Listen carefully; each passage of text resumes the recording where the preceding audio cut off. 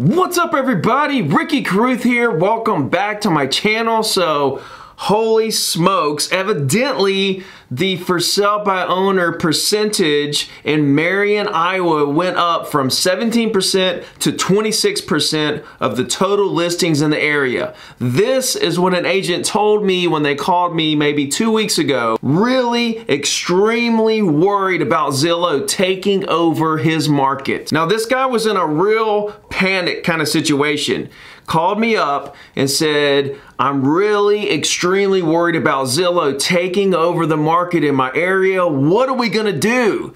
And I said, slow down, man, calm down, tell me what's going on. And that's when he told me that the percentage of for sale by owners in his area went up from 17% to 26% from the year before to this year. So as soon as he told me this, I immediately asked him what the problem is because I literally didn't see what the problem was exactly. Of course, yes, okay, for sale by owners went up in the area, okay, but what does that mean? Okay, how does that necessarily take business away from us as real estate agents? I had to ask him this over and over and over again because he kind of kept telling me the, giving me the same answer in terms of, you know, Zillow is taking over and, you know, they're going to get all the business. There's not going to be any business for us, so on and so forth.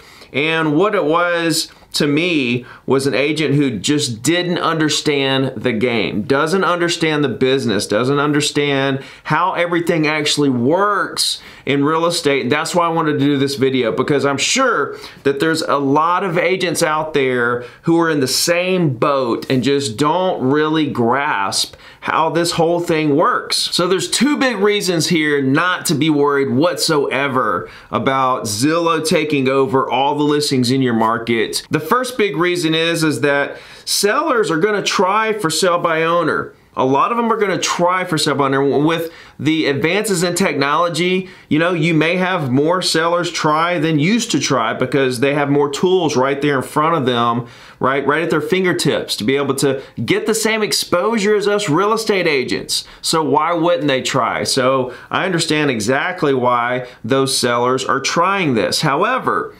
what you have to understand is that in today's world, Okay, in today's world, sellers don't necessarily need us as real estate agents to give them the exposure, right? They can get the same exposure through the online channels as we can as real estate agents okay? That's not necessarily what they need us for, and that's what you have to understand. Let them have that exposure because it's there for them. That's why I talk about helping for sale by owners for free all the time. It's one of my best strategies for new agents or people who just need a deal right now and don't have any money whatsoever. Help for sale by owners for free. Help them get it on MLS themselves. Not list it for free. Help them get it on MLS their self, make sure they got good remarks. Help them with price, help them with professional pictures, so on and so forth.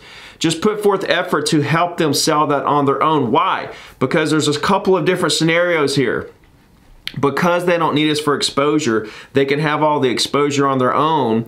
What's going to happen is is they need us for all the other parts of the transaction that they don't even realize is there until they get their hands dirty and try to do it on their own and realize how much work is involved. So they're going to get into the deal. They're going to they're going to find out that there's more to it than just putting it online. There's setting up the showings. There's dealing with buyers. There's, deal, there's dealing with buyers who want a lot of information before they make an offer. You put all the work in to give them information, they never make an offer. You have a lot of buyers that don't show up once you do get something under contract or get to where somebody wants to make an offer, you have to fill out this illegal contract. You have to negotiate the deal. It's good to have a third party negotiating on your behalf that's a professional negotiator so that they can get you the best price possible. Once you get it under contract, there's so many intricate details of each deal that requires a lot of attention all the way to closing. Most for sale by owners try it on their own and they can't even get past the stage of showing it to many buyers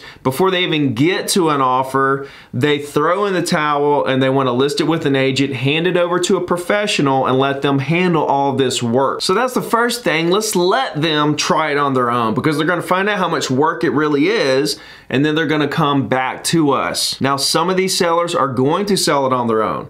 Let them sell it on their own. What we want to do is create that relationship with them for when they buy, which brings me to the second reason we don't need to be worried.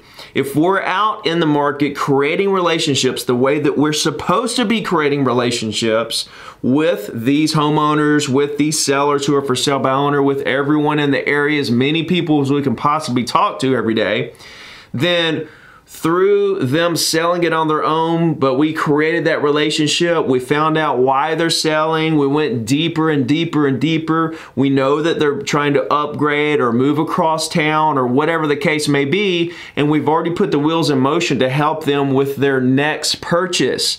Now we've, we've solidified the fact that we're going to be their agent when they buy something. So when we help these for sale buyers for free, there's a couple of different scenarios that I've went through many times. I'll go through them really quickly.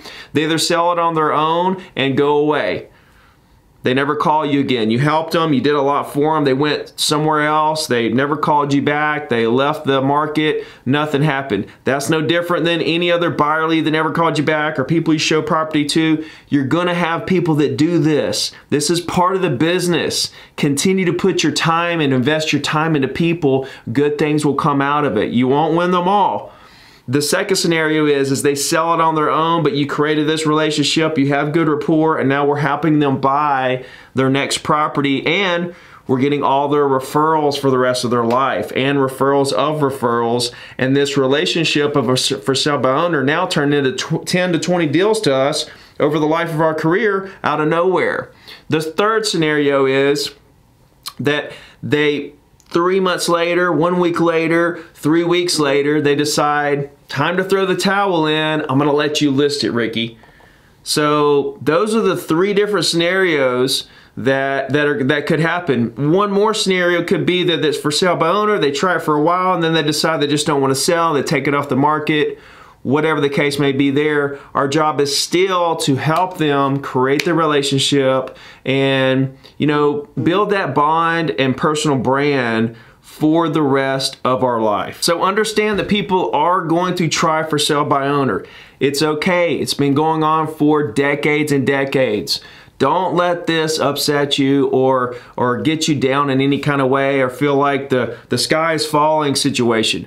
We want to continue building relationships, helping people that do want us to handle the transaction for them. There's going to be plenty of people that want you to handle the transaction for them. We want to concentrate on these people, help them get the job done. Closings happen every single day. Do not get stuck on one or two deals. Do not get stuck on worrying about one or two things like a disruptor coming in to steal our jobs.